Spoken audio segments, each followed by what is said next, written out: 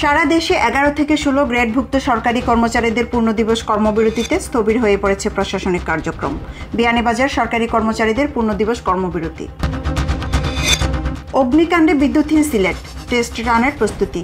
বিদ্যুৎ আসার সঙ্গে সঙ্গে সবাই একসাথে ফ্রিজ, মোটরসহ ভারী ইলেকট্রনিক সামগ্রী চালনা করার আহ্বান।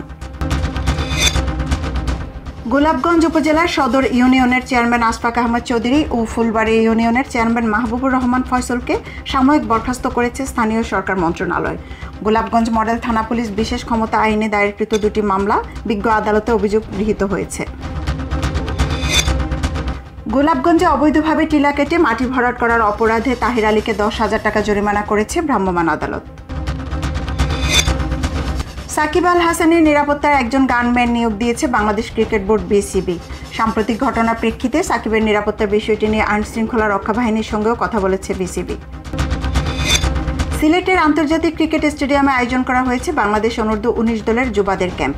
দুই সপ্তাহের এই ক্যাম্প শুরু হবে আগামী বাইশ নভেম্বর, যা চলবে চার ডিসেম্বর পর্যন্ত। একই সাথে পাঁচটি একদিনের প্রস্তুতি ম্যাচ খেলবে যুবারা।